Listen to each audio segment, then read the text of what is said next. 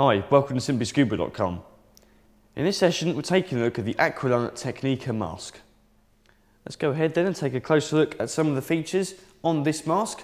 First of all, it's a very solid and robust mask with technical divers specifically in mind.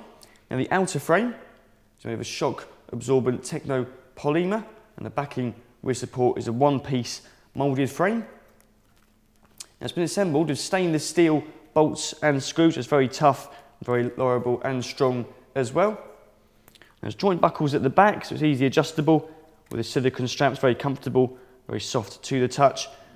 Just a simple push button then, and you can adjust the straps to wherever you want them. It's exactly the same on the other side as well, so it can be tightened and loosened as appropriate. There's a black colour as well, so it cuts out any glare from the sun, and actually black masks are often used by photographers just for extra focus.